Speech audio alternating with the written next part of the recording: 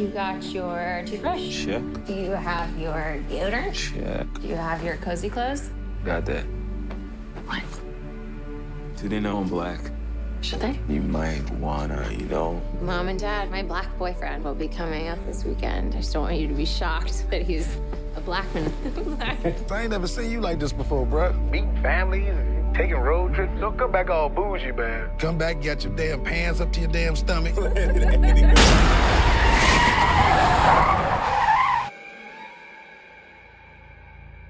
So you guys coming up from the city? yeah, we're just heading up for the weekend. Can I see your license, please? He wasn't driving. I didn't ask who was driving. I asked to see his ID.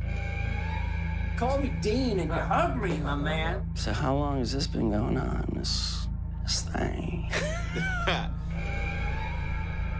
we hired Georgina and Walter to help care for my parents. When they died, I couldn't bear to let them go.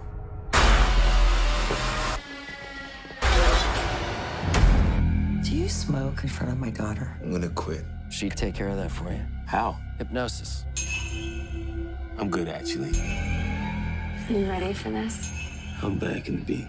so look, I go do my research.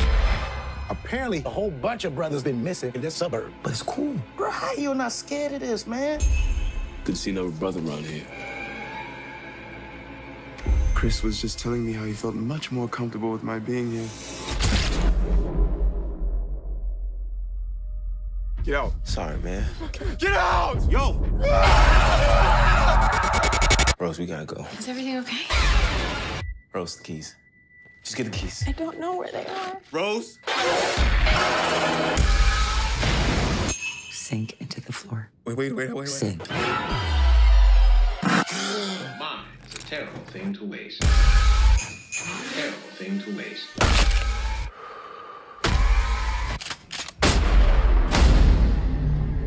If there's too many white people, I get nervous.